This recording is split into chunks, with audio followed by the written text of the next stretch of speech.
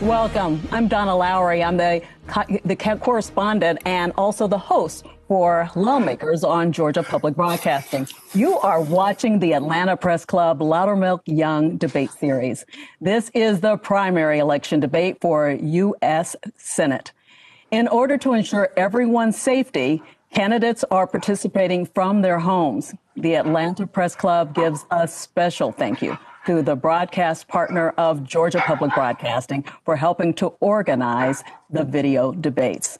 So yeah. let's meet the candidates. They are in alphabetical order. Sarah Riggs Amico recently served as chair of her family's trucking company. Marckeith DeJesus is a member of the NAACP, the Urban League of Atlanta, and the Healthcare Financial Management Association. James Knox is a veteran of the Air Force and served in Iraq as a Department of Defense civilian and earned a service medal for his work there. Tricia McCracken previously ran for the District 12 House of Representatives and Lieutenant Governor of Georgia. We are unable to reach her. We did not reach Ms. McCracken and her campaign, but she was invited to this debate. Jon Ossoff is an investigative journalist and filmmaker. Maya Dillard Smith is an attorney and the former executive director of the ACLU. Teresa Tomlinson is a lawyer and was the first female mayor of Columbus, Georgia. I am joined and thrilled to be joined by Greg Bluestein, who is political reporter for the Atlanta Journal Constitution. Welcome to you all. Thank you. Thank you for having us. Now let's get started. Please note candidates will have 60 seconds to answer their questions and 30 seconds to respond to rebuttals. For the full set of rules, you can go to the Atlanta Press Club website, which is atlantapressclub.org. So to start the debate, each candidate will be asked one question. And Greg, you will get the first question to James Knox. Yeah, Mr. Knox, let's get right to it. What should Congress prioritize in order to help repair the pandemic's damage to the economy? I think that um, Congress needs to prioritize the value of people. I think that it's more it's re- it's really important right now to get ahead of ourselves as we did in the state of Georgia in terms of trying to get back to get the economy back working. The most important thing is for us to show the value of our citizens. The citizens are the driving force behind this. I've reached out to several congressional uh, colleagues, when I apologize, uh, senators, and said that we have to get we have to make sure that we are prioritizing people first, and we need to have a structure so that we can ha- speak with one voice as a nation.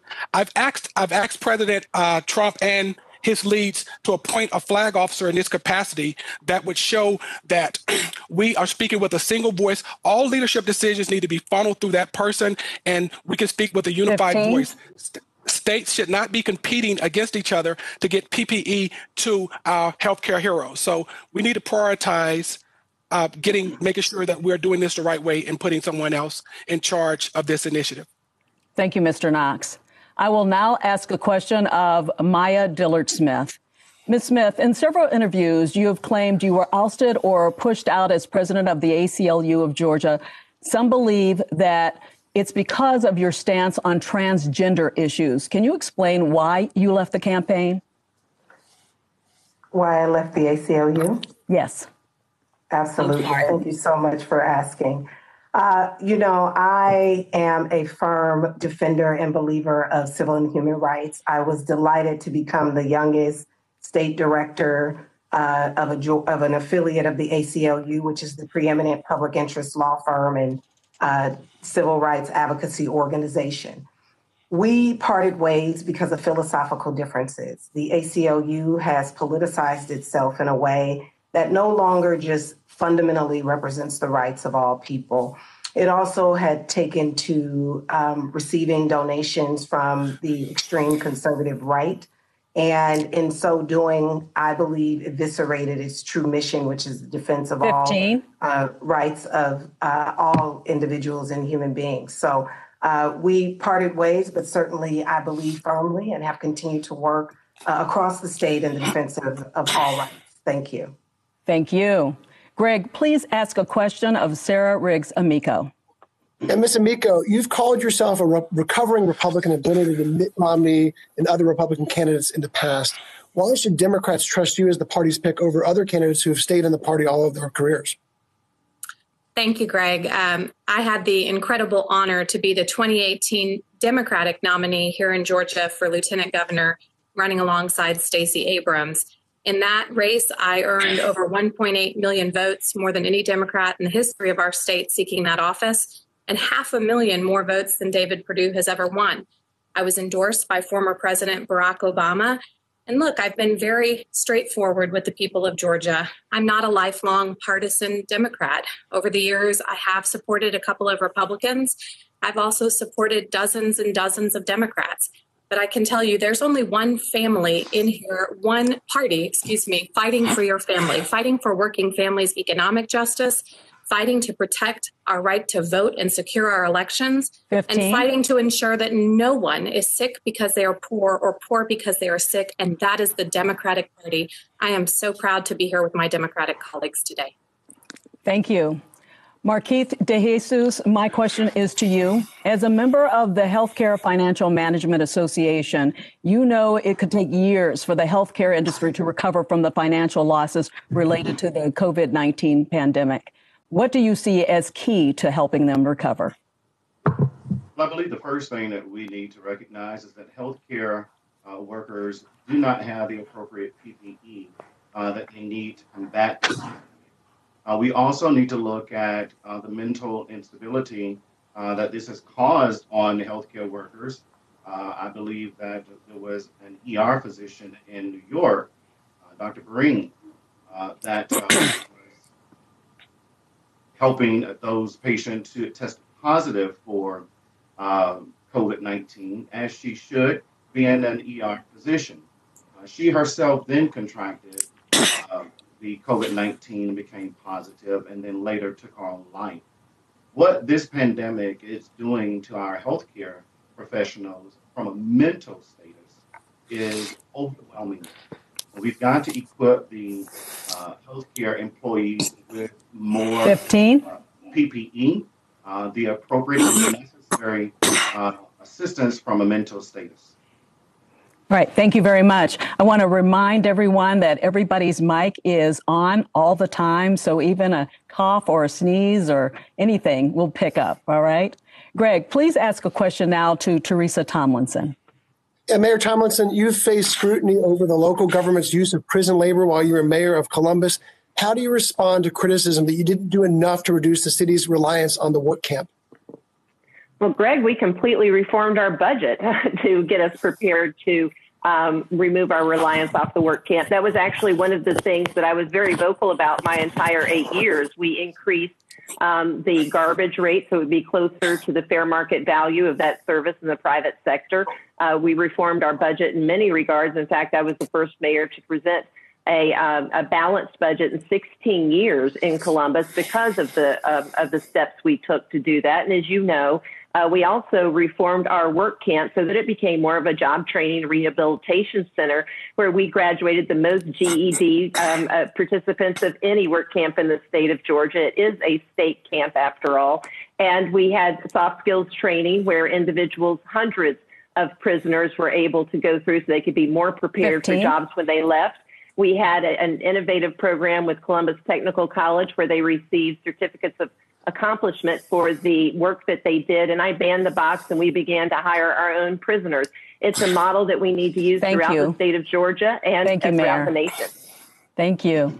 Jon Ossoff, on your website, you say you will push for an unprecedented infrastructure program as investments that will create job training and employment opportunities. Coming out of the pandemic response, the country will need to revitalize the, con- the, the, economy more than ever, of course. Where would you begin to help the, uh, the economy rebound? Thank you, Donna. Thank you to everyone for hosting this. Thanks to everyone tuned in at home. We are going to have to rebuild from the wreckage of an economy that is suffering so badly right now during this COVID 19 crisis.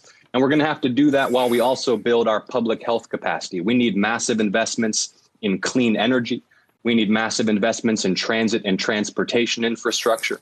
And by the way, Donna, this is something where most Georgians and most Americans agree. There is broad bipartisan support for an ambitious infrastructure bill that will yield returns to our economy in the long run and create jobs and relieve economic pain in the short run. But David Perdue, our incumbent senator, he'll never back the necessary legislation and he'll never back it with strong enough environmental 15. provisions because he's bought and paid for by the fossil fuel industry.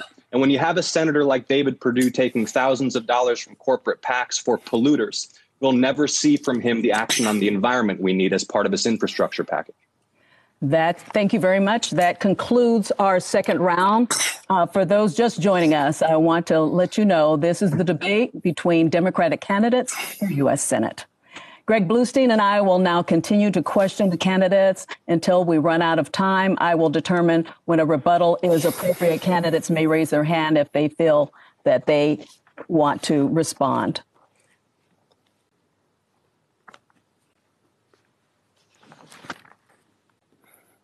I apologize. This is the round in which the candidates will ask questions of each other. I'm sorry, I must have my scripts out of place. Uh, each one of you will have the chance to ask a question of another person. And we are going to start with um, you'll you'll have 60 seconds, of course, on that, and then 30 seconds for rebuttal by random selection. Marckeith DeJesus, you may ask the first question to an opponent of your choice. Certainly. Thank you so much. My question is for Teresa Tomlinson. Uh, recently, a video surfaced of you talking to a room of supporters about your victory over an African American megachurch pastor, saying that you ran um, uh, in a runoff with an African American megachurch pastor and won 68% of the vote because the people realized a very serious time for very serious people and they wanted a steady hand on the wheel to navigate this new journey. we need the question, is, please. Certainly. Are you suggesting that African Americans aren't serious about this election and that an African American candidate is incapable of having a steady hand to navigate Georgia through this journey?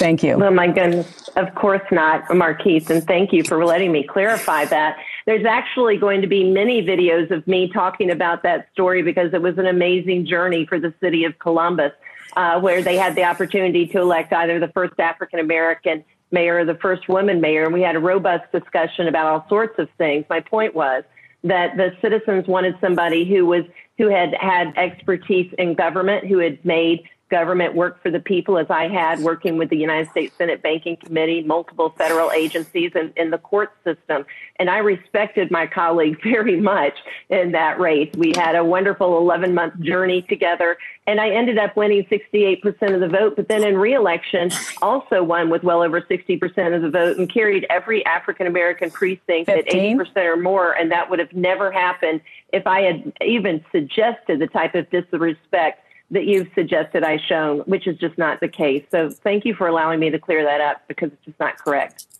Mr. DeJesus, you have a chance for a 30 second rebuttal. So what you're saying to me is that the NAACP chair director um, that spoke in regards to that is incorrect in their suggestion. I couldn't hear you exactly, uh, so I'm not sure. You said something about the NAACP. All I can tell you is if there's a video, it would speak in its totality because I seek to speak respectfully uh, to people of all times, and particularly about that incident, which was very well covered in the paper, and there's no hint of what you've suggested. All right, thank you very much. Jon Ossoff, it is your turn to ask a question of one of your opponents. Thank you, Donna. My question is for you, Mr. Knox. Thank you for your service to our country, your service in Iraq. Uh, you are a decorated uh, retiree from the U.S. Armed Forces. Many of us who have not served uh, cannot have the same experience that you have of dealing with the VA after service and active duty. And I'd like to ask if you'll take the opportunity now, based upon your experience, Mr. Knox, to lay out how you believe we can work together across party lines to ensure that the VA is delivering the health care that every veteran has earned? Absolutely. Hey, thank you so much for that question. As you know uh, from my website, uh, that the reason I'm in this race is that I'm passionate about veterans care. Um, my, my platform speaks holistically about veterans care.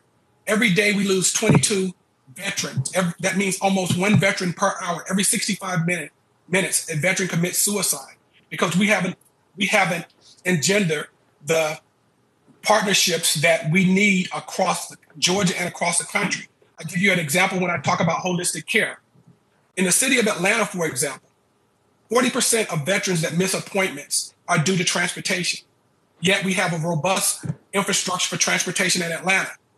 I, for the life of me, can't understand why a veteran can't show up, produce an ID card or a DD 214 and ride that transportation. That would free up 15. so many other opportunities. So what, what my, my vision is of the VA, where veterans are underserved, especially in rural communities, we would foster partnerships with local hospitals that will be able to give to grant them care. But it's much broader than that, and 60 seconds wouldn't do it, so I apologize. Thank you. All right. Mr. Ossoff, do you have a rebuttal? Well, I want to echo Mr. Knox's sentiment that access to health care is a huge and unnecessary burden for so many veterans. And even here in Atlanta, where we have one of the largest VA hospitals in the region, veterans often have to wait two or three months for essential care. And across the state, we need to do a better job of ensuring that everyone 15. who has served our country gets the health care they need. Thank you, Mr. Knox, for imparting that wisdom and for your service to our country. Thank you. And I want to remind everyone once again that your microphones are not only hot, but it, for a couple of you, you may need to get closer to your microphones. Mr. Knox, I noticed you put your microphone up on your head. So you may want to pull it down when you speak. You don't have to do it until you speak. And then also, Mr. Jesus, you may want to get a little closer to your computer. These are uh, different times for a debate. We're doing things new this time, so we've got to try some new things. All right, now it's time for Sarah Amico. Your turn. Hi, thank you very much. My question is actually for Maya. Maya, you shared in our debate on Tuesday last week a little bit about your journey as a mom running for the U.S. Senate uh, and as a fellow mom for this office, and one who's taken note that less than 5% of our Congress is made up of moms of young children. I'd like to know what you can share and what you want voters to know about being in the race for the United States Senate as a mom. Uh, this country continues to struggle with policies like affordable childcare, appropriate funding for public education that isn't based on the wealthiness of your zip code. Uh, and I think moms can speak in this moment in particular, Question. challenging economic times. Uh, what is it that you would want voters to know about your journey as a mom running for office? Thank you. Thanks so much for the question, Sarah. Uh, I became a mom at 16. I started uh, college at 17 with an 11 month old at UC Berkeley. Uh, I studied economics there and I went on to obtain a master's in public policy from Harvard at 21.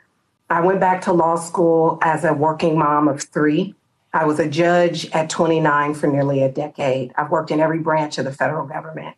And I was recruited to Georgia to lead the state uh, for civil and human rights for the ACLU. And I can tell you at every journey, um, at every juncture, I have had to figure out how to stretch a budget, how to juggle family and career.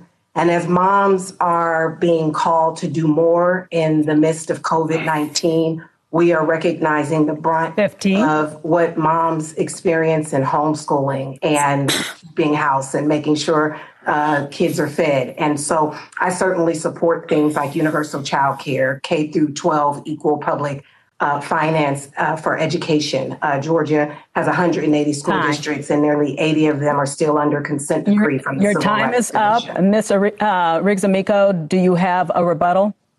Yes, I just want to thank Maya for sharing her story. I think in this moment in particular, when working families have been the hardest hit by the economic crisis that COVID 19 has created, uh, we see constant calls from people like Governor Brian Kemp to fully reopen the economy. Uh, but the reality is, we're going to need solutions to things like affordable childcare uh, in order for that to happen. And I can tell you, if you put a bunch of moms in the Senate, uh, we will make sure that reproductive autonomy, childcare, public Thank education you. are fully funded. Thank you so much. Now we're back to you, uh, Maya Dillard Smith. Please ask your question of one of your opponents. Sure. My question is for you, Teresa. You lauded your uh, success as a two term mayor of a predominantly African American city. I've spent a lot of time in Columbus and Muscogee County. I was just down in Macon, Bibb County yesterday, uh, administering COVID 19 tests. And I can tell you that I hear from a lot of constituents in Columbus their disappointment of your leadership and your failures to create robust economic opportunity for African Americans in the city that you led, and your failures to create Black cultural districts. Can you speak to your uh, failures in not creating such districts in a predominant uh, African American community? Oh my goodness, I would always love to please 100% of the people and get 100% of the vote, but 68% and 63% are pretty good. And as I said, carrying those African American precincts with over 80% of the vote, I think does speak to an affirmation of the type of leadership. And I'm not sure who you were speaking with, but we actually, one of the one of the marks of my leadership was reversing blight by lifting up uh, predominantly minority communities. Um, we did uh, several things off of uh, Victory Drive, which is an area that's been struggled for struggling for some period of time, passing tax allocation districts, and also in a place called City Village, which was very uh, culturally and, and, and community stressed because of blight. Um, but we started to turn those things around by building up the communities and not having 15? gentrification, which is really uh, amazing. And so, um, again, I, I, think that, you know, my reputation speaks for me. We were able to reduce the unemployment rate by less than, uh, by more than half. Um, and provide tremendous opportunities and, and increase the wealth of thank our um, of our folks here. So I, am not up. sure where you got your information, but thank you for the opportunity. Ms. Dillard Smith, do you have a rebuttal? I do. Thank you so much. Well, certainly, Liberty Theater has been a hot button issue and it's being widely debated right now. I'm in constant contact with individuals who serve on the board, and there are there's a deep sentiment of a failure to, you know, robustly invest in African American economic opportunity and real estate. I can tell you certainly uh, as we are combating this COVID crisis, affordable housing and development and equal opportunity in those resources as we pass infrastructure will certainly be critical. And we need a leader in the U.S. Senate that certainly understands Thank you very much. Economic opportunity. Thank you yes, very much. Well, we, we did, in fact, uh, do that. Liberty District has been controversial, you're right, and it continues to be today. But you didn't mention Arbor Point or Chase Homes or Patriot Point or any of the other wonderful uh, homes that we did in partnership with our housing authority to really elevate communities here, Columbus Commons, and so many others um, are, are national examples. So, again, thank you for allowing me to clear that up. Thank you very much. James Knox, it is now your turn to ask a question of one of your opponents. Uh, Mayor Tomlinson, uh, I, I, hate to uh, make it seem as though we're piling on, though, but I do have because I have a veterans issue, and you're you're yeah. a representative. Um, you're a representative of the second largest military footprint in the in the state of Georgia. So mm-hmm. I have, you know, I'm, I'm concerned. What what platform, what outreach programs did you do to? Uh, I think. Let me digress here you know, considering you have the second largest uh, military base and footprint in Georgia, mm-hmm. what veteran outreach programs did you develop uh, to ensure yeah. veterans were adequately served in the Columbus uh, area?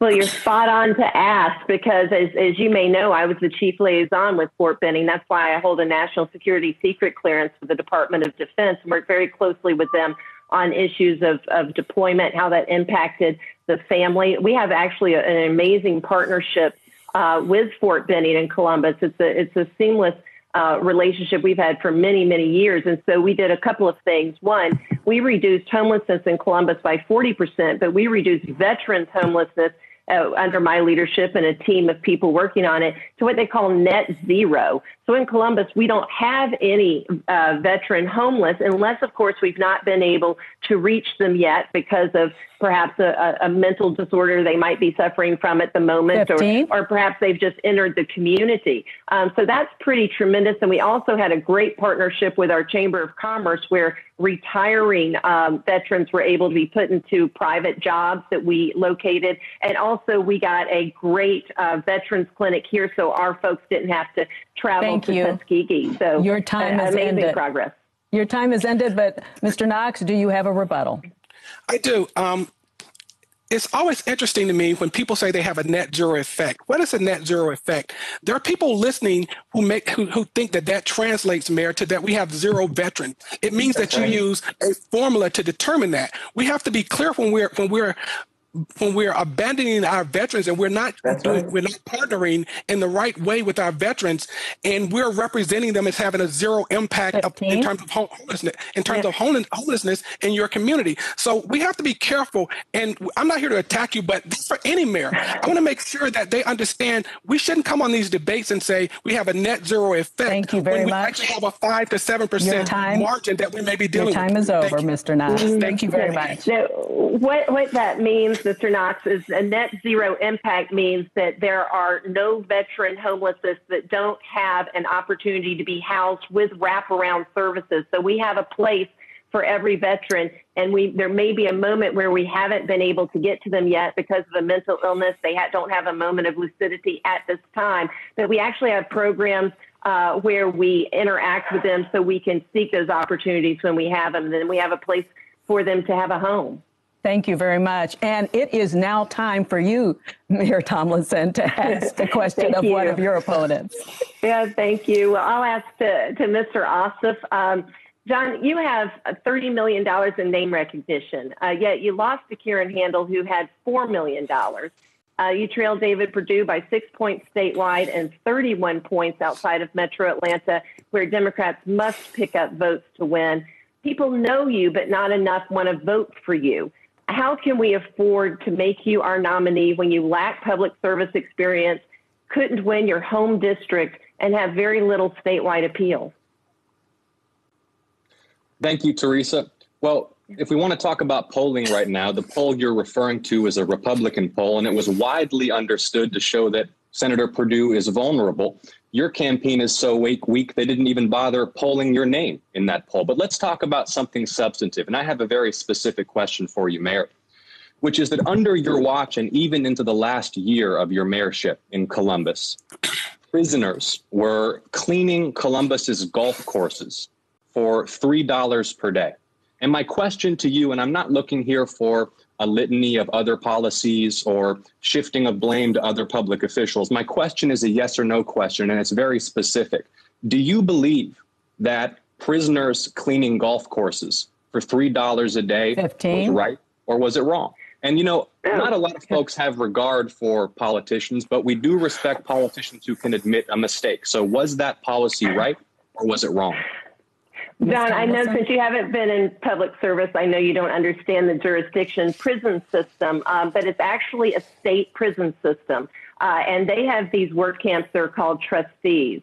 And of course, I have spoken out against it. And as I said, I actually helped transform it. I took over the prison, had um, the uh, Department of Corrections come in and conduct an investigation, relieved the warden and the two deputy wardens to begin the transformation that I talked about that allowed it to be more of a job training rehabilitation center. Uh, and so the program you're talking about, about the $3 a day and so on and so forth, is, is in fact, those are state policies and state requirements.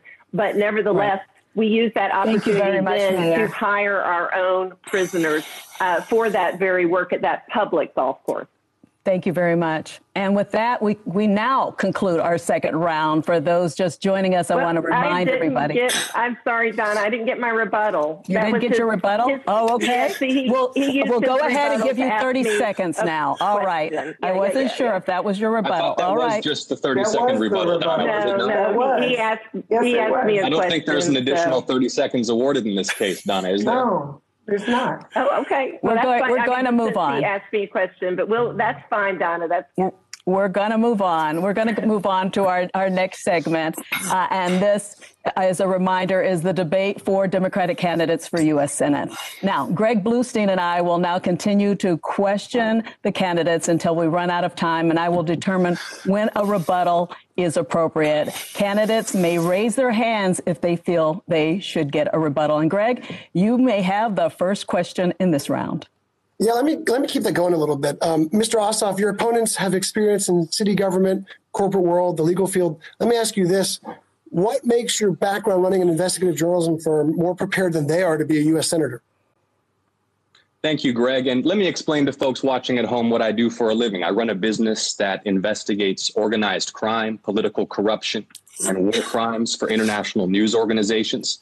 Our investigations have exposed war crimes committed by ISIS, sexual slavery, human trafficking, high level bribery, corrupt judges, and crooked police. And I know some politicians, like Mayor Tomlinson, may not have much respect for investigative journalism because we hold politicians accountable for misdeeds. But at a moment when political corruption is destroying our democracy, when drug prices are through the roof because the power of the drug industry, when our environment is being destroyed because the power of polluting industries, when our own Senator David Perdue sells access to himself and his home for thousands of dollars to corporate PACs, an anti corruption fighter is exactly what we need in the U.S. Senate right now.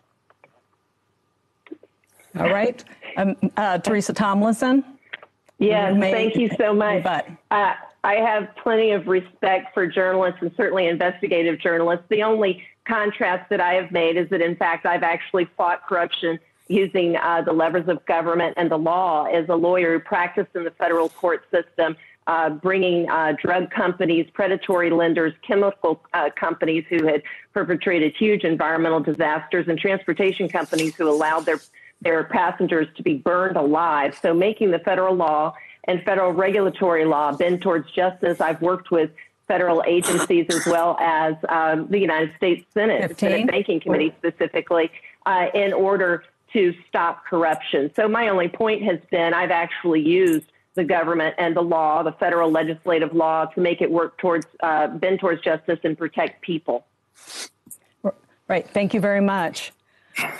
This is for Sarah Riggs Amico. You've said in a recent tweet that investing in people matters, it's possible, and it creates growth. How do you begin investing in people, especially in the times we're living in right now? Absolutely. Uh, over 30 million Americans have lost their job in this pandemic, uh, nearly one and a half million of them right here in Georgia. We've seen the pictures from Valdosta with dozens of cars lined up before sunrise to get food from a local food bank people are terrified. They're going to lose their home. When they lose their jobs, they worry about losing their health care and being sick just because they're out of work. Um, these things are unacceptable. And what I believe we need in our next United States Senator is somebody who is going to be a champion for those working families. And that's what I've done for 17 years as a business executive. I know what it is to fight to protect organizing rights and labor union jobs because that's what I've done professionally. I am a battle tested executive in a tough economy. I know what it is to create and save the kind of jobs that politicians usually only talk about on TV. And that's exactly the kind of fight I'm going to take for every one of your families as the next United States Senator. Thank you. James Knox first, and then Maya Dillard Smith, and then um, I, I be, believe Mr. DeJesus also raised his hand. Well, I think it's I think it's important when we talk about value and change in people. We have to understand that if you want to invest in poverty, we have to start at a root level here. We have to start. Nelson Nelson Mandela said the most powerful tool to change the world is education. So we have to start there with education. And if you want to if you want to reduce poverty, you have to reduce a mindset. You have to reduce. You have to understand that people that are poor they under they have a condition that continues them in poverty. 15. Where versus versus being broke, and that condition is going to end, and they're going to they're going to transfer into a better position. So we have to start investing in people. We have to start restructuring our education system first, and stop the education or school to prison pipeline. Thank you. If, Thank you very much, James Knox. Uh, Maya Dillard Smith. Sure. You know, COVID 19 has redefined our way of life and has restructured our economy. We have a real opportunity in 2020 to do things structurally different, to do things about structural racism, bias, to ensure economic equity.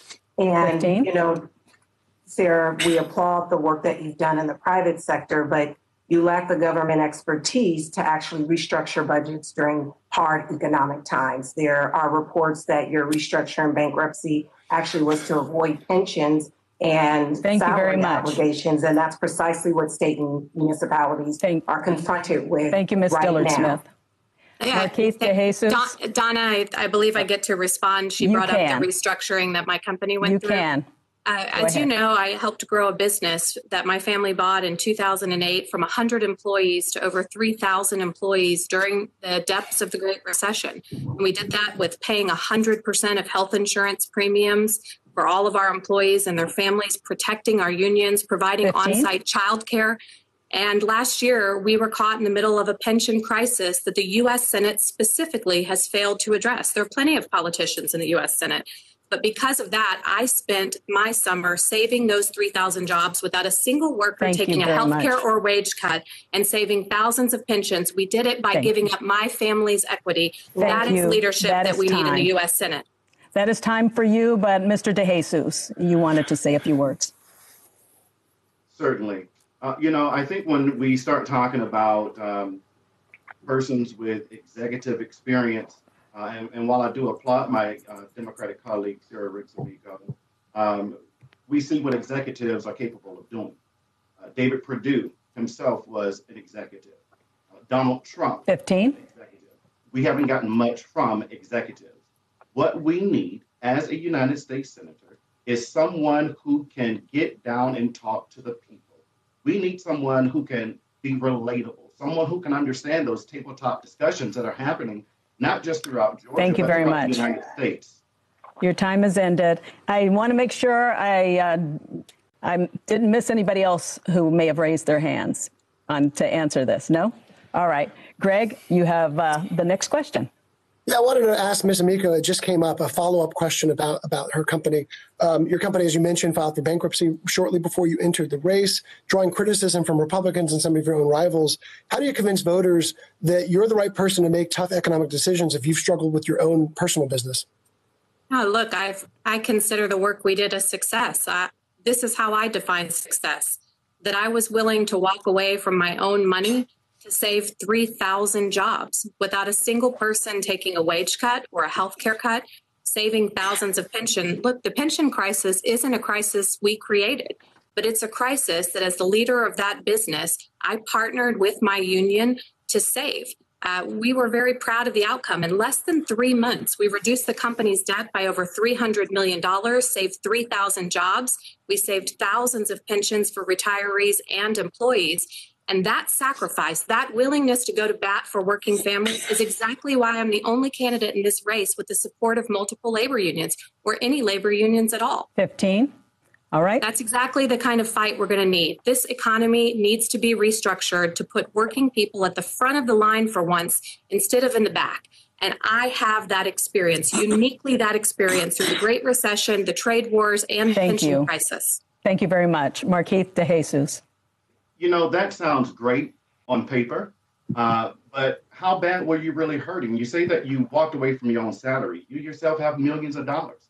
So please don't try to use that as walking away, you know, from your own salary that you help your employees. You weren't hurting at all.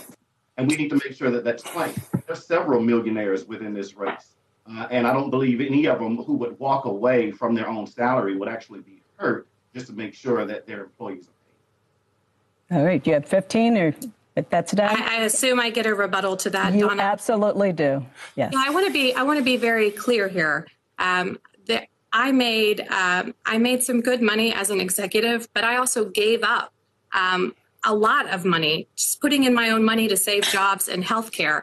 And I'm also very wary of anyone when women are successful and they finally achieve pay equity that we constantly criticize them. The reality is that for women of color in particular, 50. they're still making pennies on the dollar to white men in this race. And I want to make sure that we're speaking directly to the need for fair and equal pay for women and for people of every race in this country. Maya yeah. Dillard Smith, uh, rebuttal. Sure. That sounds good, Sarah, but the issue is not about uh, equal pay for women. This is about a, a war in this country between have and have not. And you are part of the have class. Jon is part of the have class. Teresa's part of the have class. And there are many of us who are part of the have not due to the very structural benefits that you all reap. And so it's dishonest to make it seem as though you're being attacked because you're a woman. I am an African American woman. I do know those statistics well. And I also know that it was 53% of white women that elected the man in the White House that we have today. And so we have to be honest and we have to call a thing a thing. And the thing is, is that you are a millionaire who was able to advance money, so 15? you say, but in government, you can't write a blank check. That's part of the problem with the $3 trillion that was just spent by the United States Senate and the United States House. And the Democrats allowed it to go through without care or concern for the very people who are at the bottom Thank of the ring, the working class people you say Thank you, want to represent. Much. Thank you very much, Ms. Dillard Smith. Uh, the next question I have for uh, Marckeith DeJesus. On your website, you talk about favoring common sense gun control. What does that look like to you? Common sense gun control looks like making sure that the NRA and gun manufacturers are held accountable. Um, you know, you have David Perdue, who has an A plus rating from the NRA. Whenever a civilian can go out and purchase an AR-15 or AK-47 and go out and shoot up, you know, schools, malls, there's no common sense gun legislation.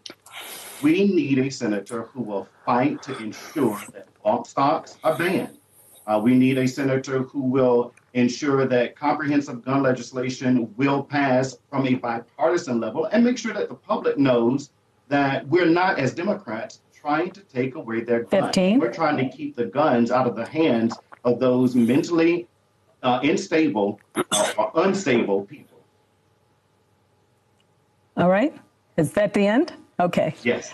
All right. James Knox, you wanted to uh, do a rebuttal.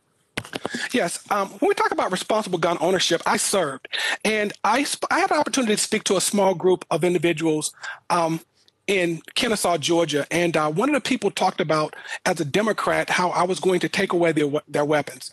At that meeting, I explained to them that I travel. I, I I'm a firm supporter of the Second Amendment. I have a weapon when I travel, but I don't believe you need a hundred round or fifty round magazine to if if you want to have an assault weapon. So if you say if you say that you're an enthusiast of sports, and I'll tell you this: if you need 100 rounds, you need to get better at your sport. So we need to reduce that to a responsible level. If you have high power weapons that can do incredible damage, we need to rest- we need to restrict those magazines' capacity in terms of what um, Mr. DeJesus was saying. To, we have to restrict those capacities to 10 to 50, to 6 to 10 rounds. That if you want it to be a sport, you keep it on a sport. If you can't kill what you're shooting at in 6 to 10 rounds, you probably need to find something else to do. All right, thank you. Maya Dillard Smith. Please. I'm the only individual uh, in this race who's actually dealt firsthand with gun violence. I know what it is to be both a perpetrator and a victim. I spent 20 years devising violence prevention and gun safety rules and regulations, and I can tell you this. We need a United States Senator that, that is up for the fight for responsible gun ownership. As a head of the ACLU and a defender of the Bill of Rights, I believe fully in the right, Second Amendment right 15. to bear arms for the militia purposes of confronting a corrupt government. When we have police that are shooting black and brown men, we need the opportunity to defend ourselves and not in opposition to the police, but certainly in defense of our dominions, of our homes, of our families, of our children. Thank you very and much. Certainly, COVID is presenting issues and opportunities around racial Thank profiling you. and police accountability. Thank you. I want to make sure no one else raised their hand and I missed it. If anybody else wanted to respond to that. No? Greg, go ahead with your question.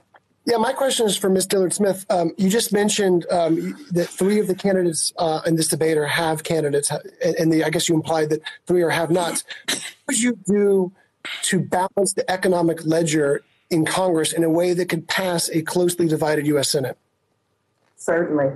I think one of the primary ways is to really confront the realities of our tax structure. We need comprehensive tax reform that puts working class people first. It is not tax bailouts for the rich. We need to repeal opportunity zones, which is an instrument that was passed by bipartisan to stimulate economic development in distressed communities, but it has actually exacerbated gentrification. We certainly have to reform predatory lending and the racial profiling that's happening in the banking system that we're now discovering was structurally a reality in the PPP program, which locked out nearly $500 million for African American owned businesses. Georgia is the number one place to do business the leading driver of small business development here is African American females, and they did not, um, were not protected in the use of our federal resources. And certainly we've got to have a comprehensive economic package for African American people of color and working class people in this country. Thank you. Mayor Tomlinson? Thank you, Donna. Yes, I just wanted to address uh, the invocation of my name related to haves, and I have been so blessed, no doubt. But you need to know uh, you may see the success, but you don't know the rest. Uh, I'm the first generation born into middle class. My grandfather had a third grade education and couldn't read and write.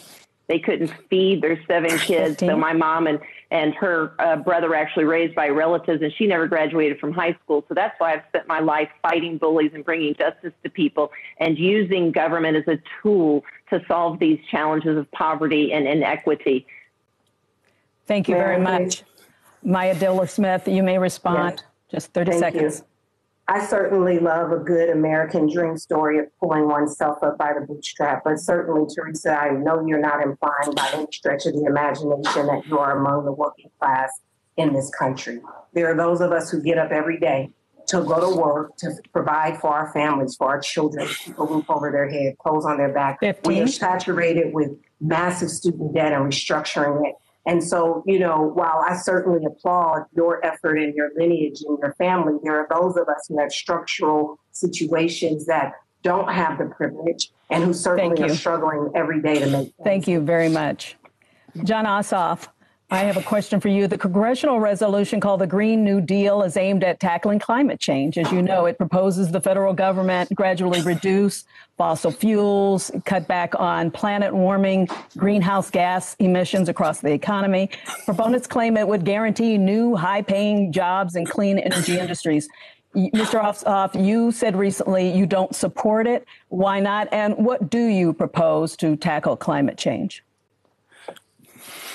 Thank you, Donna. Well, I'm glad we're having this conversation now about how to accelerate the transition to a green and sustainable economy. And it's right that that conversation happen in the context of an infrastructure package. And as for the Green New Deal, I am in the U.S. Senate, I will push for a historic, unprecedented infrastructure package. I'm not at this time ready to endorse a single resolution that lays out a framework for it until I can understand exactly how we make that resolution work for Georgia. But my priority will be historic investments in infrastructure, in clean energy, in overhauling our electric grid, in making our coastline and our agriculture more resilient to the effects of climate change, and in evidence based policymaking. We're seeing right now, Donna, what happens 15. when politicians like Donald Trump and David Perdue ignore science, ignore data, and ignore expertise. We cannot afford to keep making the same mistake when it comes to protecting our environment. Thank you. I'd like to ask if any of the other candidates want to talk about the Green New Deal. I see Mayor Tomlinson uh, first, and then we'll Maya Dillard Smith. Sure, Donna. Thank you. I think a lot of us were shocked when Mr. Ossoff said he didn't support the the Green New Deal. And the and the point of the matter is, the Green New Deal and resolution is just a series of principles, much like what you laid out to, to resolve the climate change that we are experiencing right now through fires and floods and intense, intense hurricanes and, and the devastation that has brought our city's 15. infrastructure is crumbling under these rains we can't withstand. And we're paying right now millions of dollars. We have the opportunity to create millions of jobs and the Green New Deal is a, is a proposal, and it's not a piece of legislation yet. And nobody who believes that the climate is essential to our economic growth should be saying that they're against it. Thank you. Maya Dillard Smith. Thank you. I'm, I'm the only candidate in this race who actually knows something about what it means to move land conservation, air quality, and water control and protection. I have the great privilege of uh, being the lineage of a 50 acre family farm that's still in operation. Just recently gave the water district an easement. I can tell you this that the Green New Deal, much like Teresa just laid out, levels out a framework. But what's more critical is that we talk about replacement industry for farmers, for individuals in the disaster recovery around fires, floods, uh, hurricanes, earthquakes, and what that means in the redistribution of wealth and recovery much like 15. we are going to have to do out of COVID 19. We've seen the stalling of resources, particularly here in Georgia and the coastal areas, resulting from Hurricane Michael. We've got to streamline the direct resources to the individuals who desperately needed to bring Thank you very much. fundamental principles of the Green New Deal to reality. Thank you. I wanted to uh, ask uh, the other, uh, some of the other candidates, uh, Sarah Riggs Amico, your your feelings about the Green New Deal and about climate change solutions. Absolutely. I support the principles of the Green New Deal. And I think that this is one of the top five priorities. I've been very clear that combating climate change and its effects on the health and well being of our population and our economy would be one of my top five priorities in the U.S. Senate. Uh, I have two little girls, they're seven and nine years old. And the least I can do is help leave them a world with clean air and clean water. And we've seen the Trump administration time and again enabled by people like David Perdue, who are utterly silent in this debate, dismantle the protections for clean air and clean water, refuse to accept that it is always poor and marginalized communities who are most hurt by climate change. And as a U.S. Senator, I can promise you those issues of environmental justice 15. and equity will be front and center of every policy I support. Thank you. Marckeith DeJesus. Well, we can't talk about climate change and um, the Green New Deal without first talking about China, who is already positioning themselves to be a leader um, with regards to renewable energy. China has put 126 billion dollars towards being the leader uh, of renewable energies versus the United States at 40, 46 billion. So we definitely need to make sure that we keep an eye on China because no one want China to be the leader of, um, of, of making sure that we take a hold of what we are experiencing right now from climate change. It's not a hoax, and we've got to make sure that the general public understands that this is something. If we don't take hold to it right now, will 15 a disaster for our children and our children's children. All right, and Mr. Knox. The reality is you can't refute empirical data we can we can sit back. We we can visually see the impacts of climate change and the impact it's having. We can see that by the tenacity of, of the hurricanes that are hitting our coast through the tornadoes through the earthquakes around the world. The reality is is that we have to support a green new deal if we expect if we expect the culture and, uh, and the climate the, the if we expect the world as we know it to be here for our kids and grandkids. And I have a one year old grandson this year, uh, this week, Sarah. So I understand that. So we have to make sure we're implementing policies, but I do have to agree, and I, I don't want to give anyone a, a, nod or anything, but I do have to agree with Jon when he said he we have to understand the framework. We just can't we just can't hitch our wagon to someone touting or saying something that's vogue in terms of the Green New Deal without knowing what that means. We have to understand what a Green New Deal means, and and is this reasonable?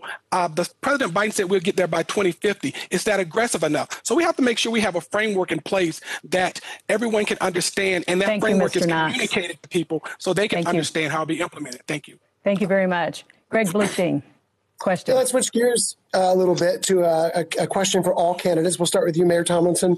Uh, many of you have opposed Governor Kemp's decision to ease the coronavirus restrictions starting, I guess, uh, a week and a half ago. Um, at what point do you think it's safe to start reopening Georgia's economy? And what message do you have uh, for people who do want to restart their businesses and, and, and start to come back? Yeah, Greg, you know, leadership is so hard. And, and one of the hardest things to do as a two term mayor, uh, public safety director, and homeland security director, I can tell you is, is telling people something they don't want to hear. Everybody always wants to go back to normal. Um, but it's going to have to be a phased plan. I think one of the reasons I've been critical and other people are uncertain about this is because there's no plan. Uh, we went back against CDC guidelines, uh, had people out uh, in, in the community before we'd had two solid weeks of decrease of coronavirus incidences and deaths. And so uh, we don't know now exactly where we are. Um, it, it, would be so much better uh, if we had a plan to first get the public safety straight, the civic stability, and that allows us to have economic prosperity. You hear 15. businesses saying, I'm uncomfortable calling my workers back. I'm uncomfortable calling my customers back. And that's because we don't have a plan about what exactly the PPE they might be able to have in their job. And we haven't coordinated with the industry leaders to set that up, like union leaders. Thank you. Thank you. James Knox, yeah. same question. Yes. Um, I think one of the things that I've said consistently in in terms of returning people to work, I agree with um, Mayor Thomason. We have to have a we have to have a strategy. What I've what I've called for from day one is communicate that plan. So for, for Governor Kemp to say that we should return to work, I think that what he should have done is came out and laid out a phased approach and a strategy. Hey, here's how much testing we've done. Here's what the numbers say. I'm comfortable with this level, and that would that would stop some of the consternation from the citizens. So you have to come out. Where, what is your strategic plan? What is your communication plan? How are you going to communicate if we have a relapse? What I've asked people to do uh, for everyone that I communicate with via Twitter, Twitter and social media is to follow the CDC.gov guidance and uh, follow Dr. Dena Grayson's uh, guidance. What Dr. Dena Grayson has done, um, aside from attacking the president, what she's done is laid out strategies and amplify what testing means and what a recovery means and how we should go about. She was one of the leading researchers under President Obama for um, Ebola, and she's done a great job in terms of getting a plan out there. So thank, thank you. you, Mr. Knox. Sarah Riggs Amico. Yeah, the first thing that comes to mind for me, Donna, is who we're putting at risk. The definition of essential workers are some of the same people that we expect to accept $5 an hour minimum wage or $7 an hour minimum wage right here in Georgia. And it's personal for me. My family members have held a lot of these jobs. People in my family were truck drivers, nurses. Uh, my grandmother on my mom's side cleaned hospital rooms until she uh, retired with Alzheimer's. And um, my granddad worked custodian. So these are some of the same people, uh, grocery store workers, frontline healthcare professionals that we're putting in harm's way. Uh, one of the best things we can do to reopen the economy is ensure we're protecting those frontline essential workers, make sure there's widespread testing and tracing capability. Okay. And for goodness sake, don't open businesses like massage parlors or tattoo parlors where you have to be physically touching someone else. I mean, there's a logic gap here for what Brian Kemp has done. And as a small business owner myself, I'm very sympathetic to people who want to get back to work. Uh, but we've got to Thank do it in a way much. that respects science and facts. All right. Marckeith DeJesus. You know, I think for government to reopen uh, certain areas of the economy was done prematurely. Uh, and as a healthcare worker working in a major hospital here in Atlanta, I can tell you that we have seen an influx of patients coming in through the emergency room and now being uh, placed in ICU and on uh, ventilators. So I believe that it was a very premature uh, move for Governor Kemp to make, and it should not have been made uh, without a strategic plan. You want workers to go back to work, workers want to go back to work. But you first must test those workers to ensure that they're not putting themselves at risk, they're not putting any of their coworkers at risk. Thank you very much. Jon Ossoff. The question that Governor Kemp needs to answer is where are the tests? Everyone wants Georgia's economy to reopen as soon as it's safe to do so. But in the absence of robust public health data, we're flying blind and making economic policy without an understanding of the spread and scope of the disease. And it almost makes you wonder if he doesn't want to know precisely who is suffering and who is dying, because it's no surprise that it's low income families and African American families and folks in rural parts of the state, folks in places like Albany, who are suffering the most from this disease. And these are the same families who have already faced vicious attacks from our Republican state government through the refusal to expand Medicaid, making so many of our citizens more vulnerable to a 15. pandemic like this. So Governor Kemp needs to account for his abysmal failure to stand up robust testing across Georgia, and he needs to explain to the families of those who continue to die why he has lagged so badly on the public health response. Thank you very much. Maya Dillard Smith.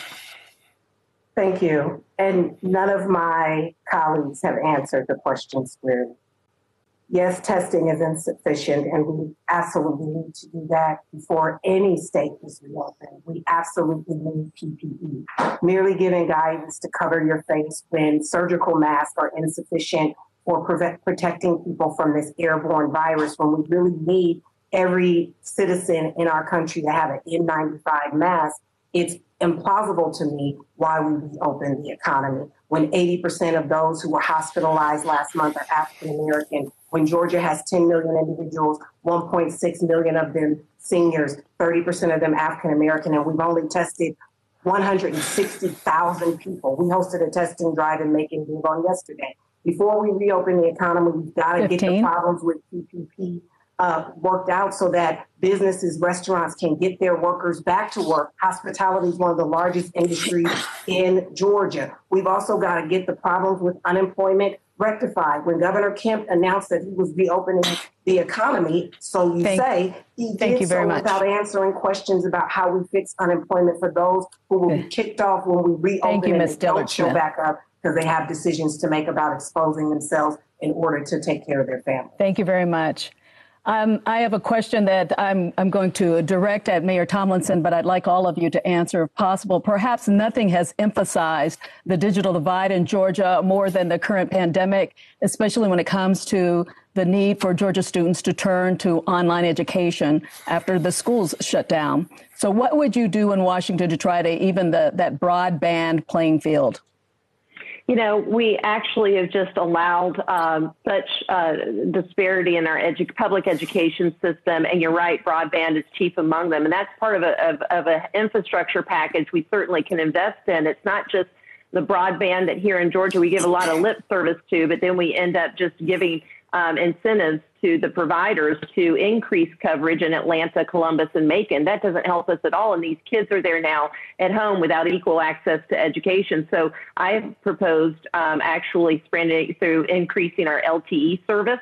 Uh, which is faster and could be uh, done more uh, cheaply. But as a United States Senator, it's about finding somebody who is the Secretary of Education who actually believes in public education, who will partner with the states to invest in these type of infrastructure programs 15. so that we can provide um, a broad-based education because that's how people get to the middle class. That's how we have economic prosperity is we have got to reach out to rural Georgia and understand it has capacity to provide for our economic prosperity in this state too.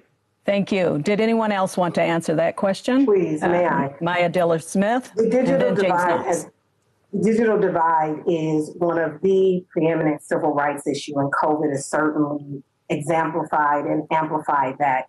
Uh, Teresa, I, I, don't think you have this this experience, but I'm certainly at home with my girls uh, who are in middle school and high school, and we are working every day on school assignments. I have homeschooled my children before, and I know what it means when you don't have adequate internet at home. The challenge, however, Teresa, is that we can't ask the Department of Education to do what is out of its purview to invest in the infrastructure of broadband. We should be asking that of the private sector companies like Comcast, AT&T, Google, and others who are making a killing. Look at your average bill every month. We have sports fees. We have uh, uh, com, com communication fees. The taxes and fees are raping families from the very things that they need to thrive, particularly when we are going more digital. And we have to ensure greater access, which means we have to have greater public investment in the ownership of our utilities. Thank you very much. James Knox.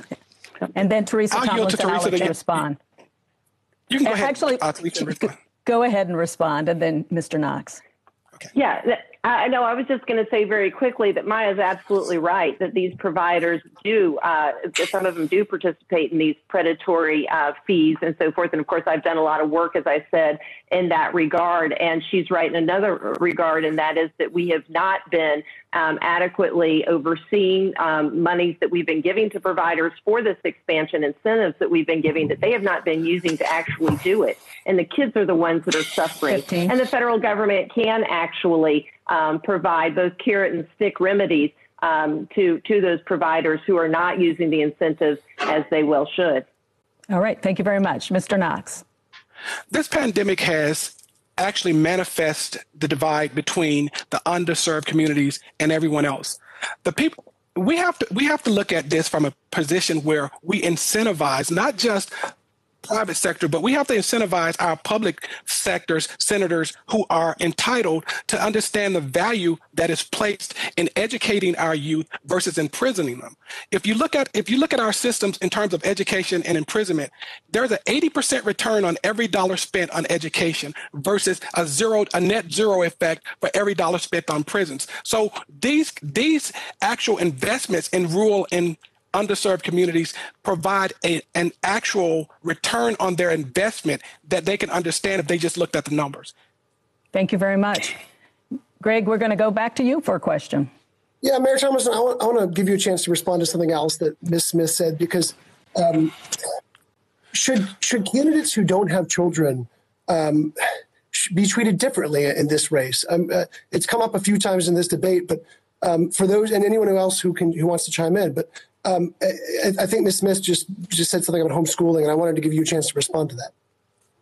Well, Greg, uh, you may not know, but my husband and I actually tried to have children for 10 years. Um, I very much wanted to have children. We were unable, and it was it was that that sent me into public service. I think every human being wants to leave a legacy of some sort. You want to leave the world better than you find it, and if you can't do it through the miracle of children, uh, then you can certainly try and do it through being a steward of the government that serves them. And I used to tell my friends all the time, you raise the perfect sons and daughters, and I will make sure that they have a community to inherit and live their most prosperous life. Uh, and so I, I, think that, you know, we all give back in the way that we can. And so whereas I don't have children, um, just like with anyone else, that where there's a, a specific thing where you don't have a personal relationship uh, or, or experience with that, um, you 15. open your ears, your eyes, and your heart that much more uh, to them and to understand what you can do to be a facilitator of their very best life. And that's what I've done in public service. Thank you very much. Maya Dillard Smith. Sure. And I certainly uh, wouldn't want to suggest in any way, shape, or form that those who do not have children certainly are not qualified for uh, this job. But I will say there is something to be said about the experience of what it means to raise a family in this economy in these times.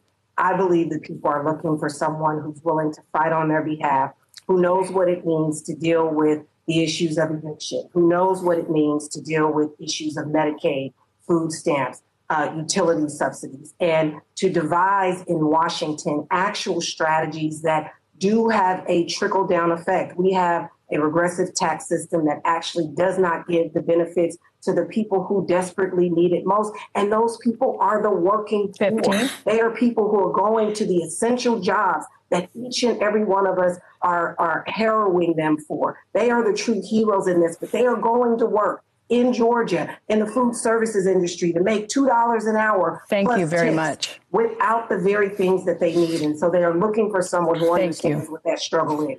Thank you. We'll go to James Knox. I know you wrote, you had your hands up. No, no go right ahead. You didn't? That's it. All right. All right. No one else wanted to respond on that one?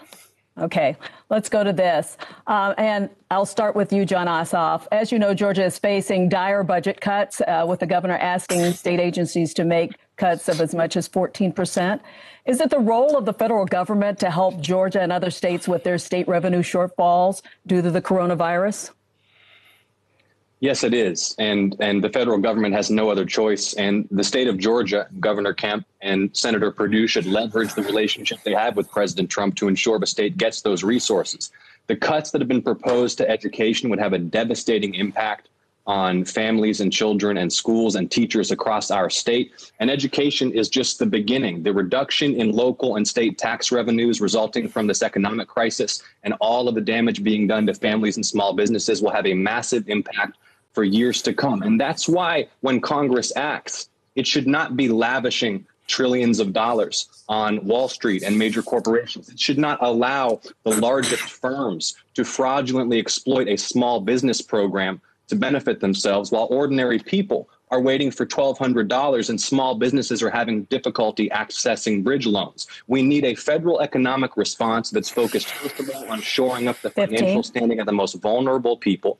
And second of all, making sure that state and local government can continue to render vital service like the provision of education, public safety, and infrastructure, Thank even you. as private sector activity suffers. All right, that's your time. Sarah Riggs Amico first. Yeah, absolutely. We've talked a lot about what experience qualifies somebody to be a United States Senator in this race. And I'd suggest that your question and Jon's answer are yet another reason that somebody who's actually been a small business owner, who's to get a piece of the payroll protection program uh, and fallen short when the first fund ran out, who's actually built an economy, who grew a rural area, went to a public, the only public high school where I grew up, has faced many of these challenges in trying to create the kind of jobs that give our families access to prosperity. Uh, this is exactly the reason I'm in this race. It is about creating shared prosperity, giving working families the champion they deserve in public 15. service, finally putting them at the front of the line and building an economy that can work for everyone. So this is exactly the reason we don't need only politicians and attorneys in government.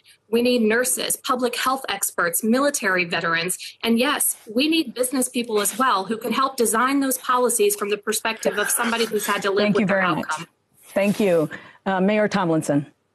Yes, well, as somebody who actually did help lead a community through a time of the Great Recession, which was incredibly challenging, let me just say that now is the time in this calamity and, and this this negligent response that we have had to COVID nineteen to start investing in the systems because we see that our lack of, of governmental and, and economic and civic infrastructure has allowed COVID nineteen to go right to those who are the most vulnerable. So now's the time to begin to invest in education and to create jobs in education, to take the 25 million people we have recently unemployed and begin to provide retraining opportunities so they can go into the healthcare industry, which is so stressed at this time. We're going to need people and and uh, and senior living, uh, assisted living centers, um, and so many other things. This this is the time to open the ACA and let people who are presently unemployed have insurance that is credited and and provided to them for free during this moment of crisis. This is a time to invest in our governmental systems, and that will be what pulls Thank us you. out of this economic disaster.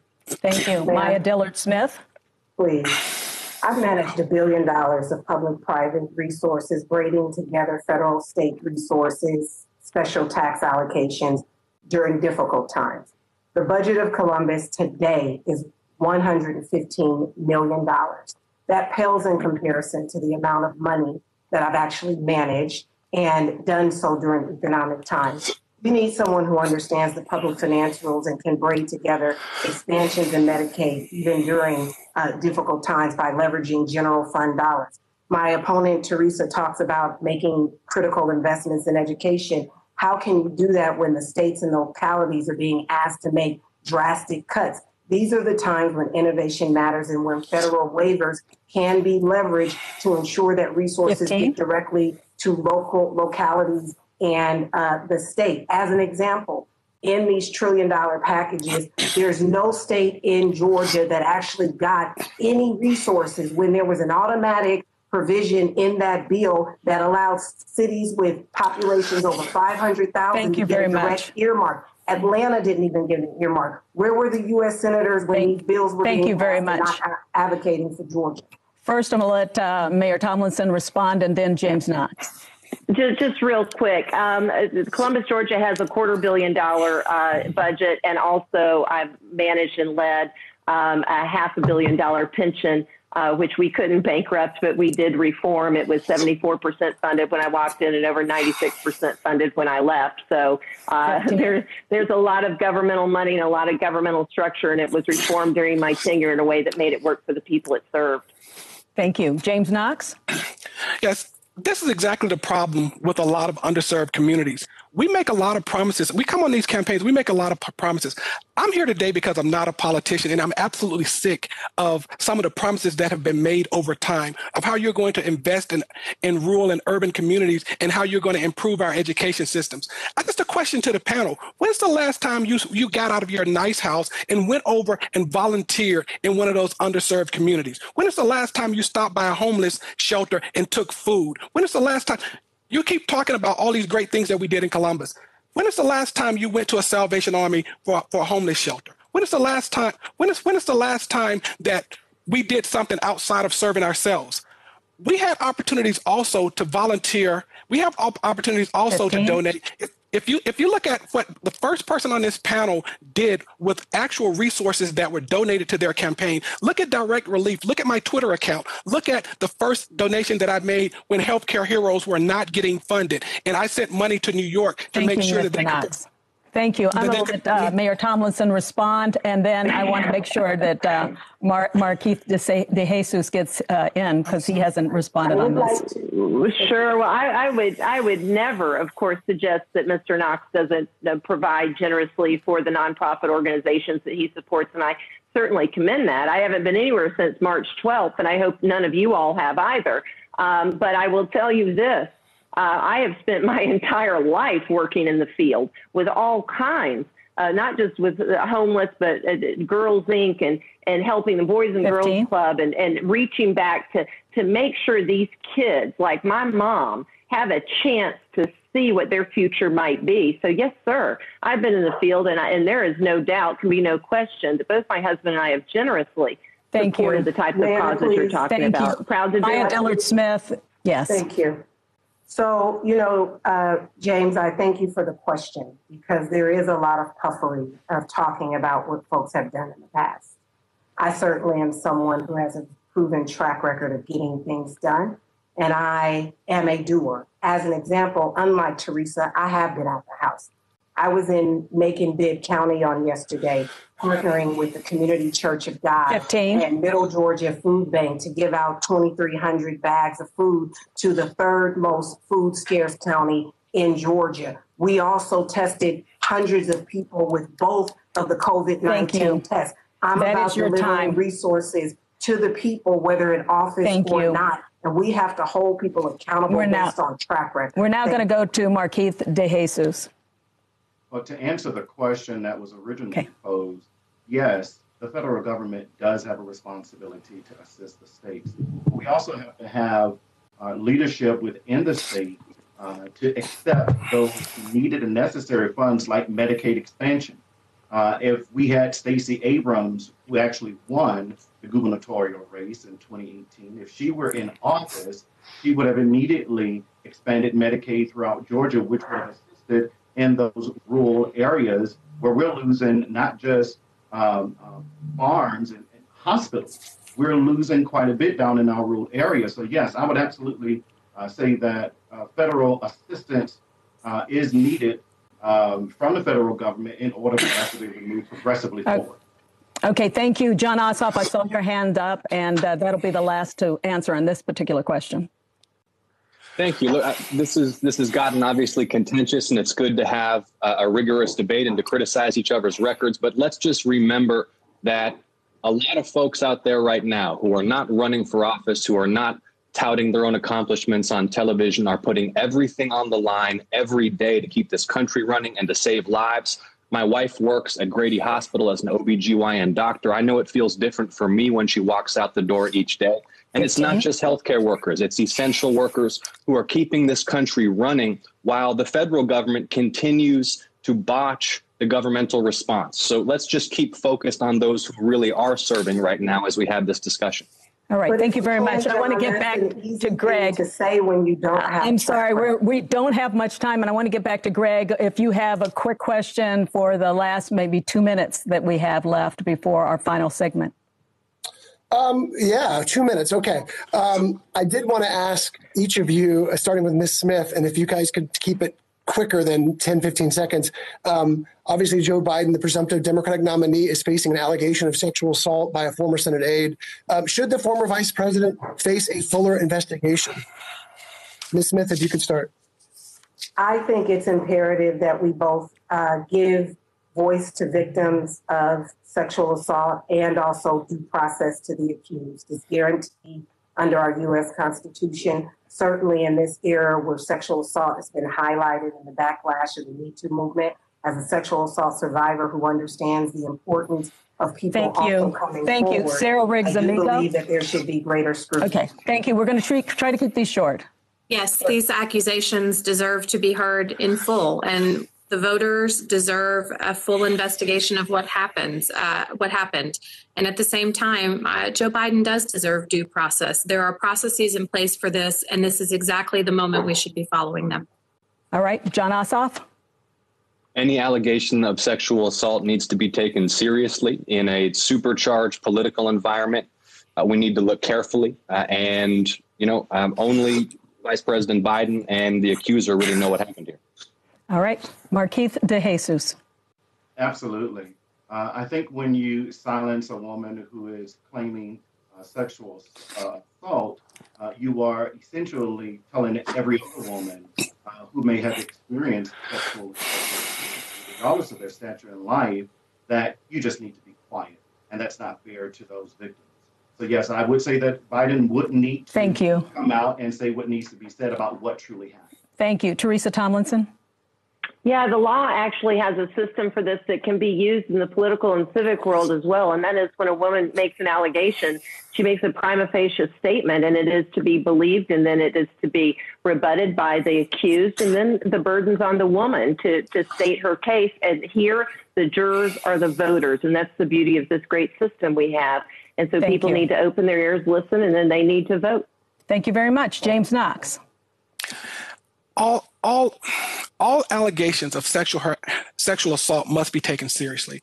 We have to make sure we don't marginalize women in these instances so that they don't come they don't come forward and they have to suffer in silence. So yes, every every every sexual assault allegation needs to be taken seriously and investigated. All right. Thank you very much, candidates. That is all the time we have now for questions.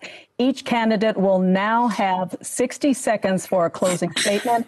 And we begin with Teresa Tomlinson. You get the first closing statement. Well, thank you so much for this opportunity. You know, this election could not be more important. We cannot allow David Perdue to default into a second term of six years to fail Georgians and enable this, as he has enabled this president, and to fail this country. And so we need to know that on June 9th, uh, we will actually um, be nominating somebody who must beat David Perdue. I suggest to you that that must be someone who has won elections and who has governed and governed well.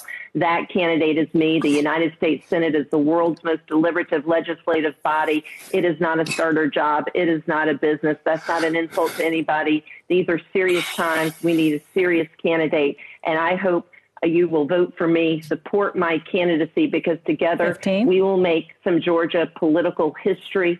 We will set this country back on track and we will use my skills to resolve the dysfunction and chaos that has come into our life because of, of this mismanagement in Washington, D.C. Thank you. Jon Ossoff, your closing statement. Donna, Greg, the whole team at GPB, great job. This is a difficult circumstance in which to do your job to inform the public about where candidates stand on the issues. Thank you for your efforts. Thanks to everyone for tuning in. Thanks to everyone out there working hard to advance our interests and our state's interests amidst this crisis. I don't have a typical political profile. I'm young, and I believe my youth is a great strength. I have not made my career in elected office. I've made my career investigating corruption, organized crime, and war crimes for international news organizations all over the world. We have in David Perdue a senator who not only sells access to himself for thousands of dollars from corporate PACs, but when a pandemic was bearing down on our shores, and when the administration's response was so clearly inadequate, he dismissed the threat and adjusted his own stock portfolio to profit. We need to mount an all out assault on his corruption and corruption in Washington, and I'll do that as Georgia's Thank senator. you. Thank you. Thank you very much. James Knox, your closing statement. Well, thank you. Uh, thank you, Donna. Thank you, Greg. Thank you, everyone. Thank you to all of my uh, colleagues here that have participated and to all of our constituents. You know, as the son of a janitor and a homemaker, as a veteran, I've been a servant leader for over 30 years. I've served in those underserved communities that we're talking to you about with. I worked in, I've volunteered, I've donated, I've mentored in those communities. I understand their needs because I've shared those needs. I've taken the same commitment and ethics to every position that I've held. As a federal civilian, I was selected and deployed to Iraq and worked with the Ministry of Communications, worked with the Ministry of Interior, worked with the Deputy Prime Minister, um, worked with the Deputy Prime Minister, because of the many successes I've, I've earned, because of those many successes, I've earned the opportunity to become a 15. Harvard Kennedy School Senior Executive Fellow. And I will bring pragmatic solutions to the challenges ahead. Thank you for your time. Stay safe, Georgia, and vote for Knox. Marckeith DeJesus, your closing statement. Thank you. And thank you to the Georgia Public Broadcasting uh, and to our moderators, uh, Donna and to Greg, uh, but most of all to the voters who are watching this. I want you to know that I'm running for the United States Senate because if we don't get David Perdue and Donald Trump out of office in this uh, election in November, we will regret it for the for, for the next four to six years. We cannot afford to have the same type of uh, leadership that we've seen from Donald Trump and from David Perdue.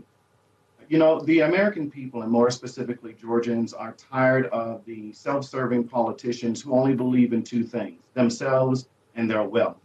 They're also tired of the nastiness 15. that they have, uh, that they see coming from candidates pitching at one another.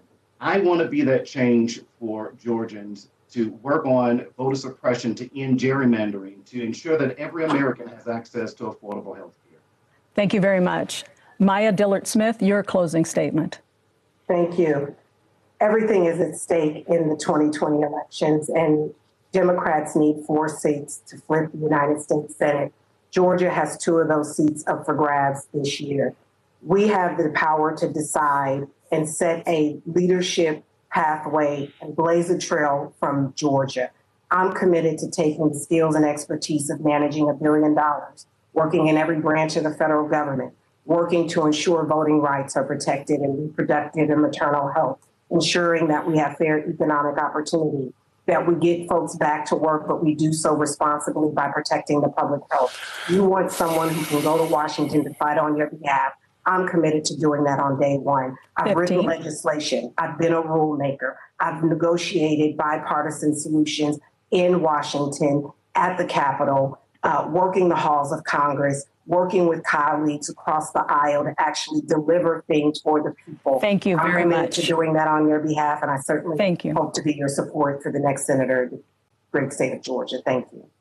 Thank you. Sarah Riggs Amico, you have the final closing statement. Thank you very much. And thank you for the opportunity to be here.